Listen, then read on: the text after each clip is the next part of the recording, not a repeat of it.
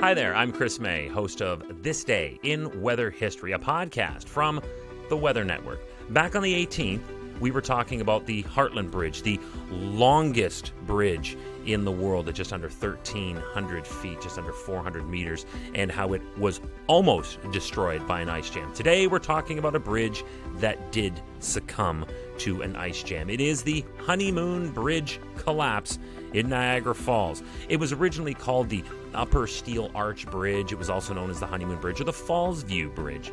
Anyway, it's it was called that because it is past tense. It was an international bridge, like we see at crossings. It crossed over the Niagara River, connecting Niagara Falls, Ontario, with Niagara Falls, New York.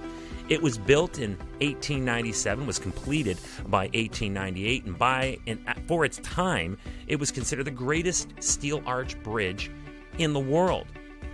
But it did come with a problem because of its proximity to the water surface. The first scare happened on in January of 1899. We barely had this bridge up.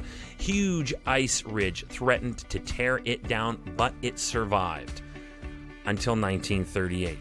On the 23rd, a sudden windstorm off Lake Erie sent a deluge of ice down the Niagara River, and within 12 hours, this bridge was under siege. It was only a matter of time before it would fully collapse didn't immediately. It held in there valiantly. and in the time it took between the 23rd and the 27th, people were gathering every day to get the final look at the bridge.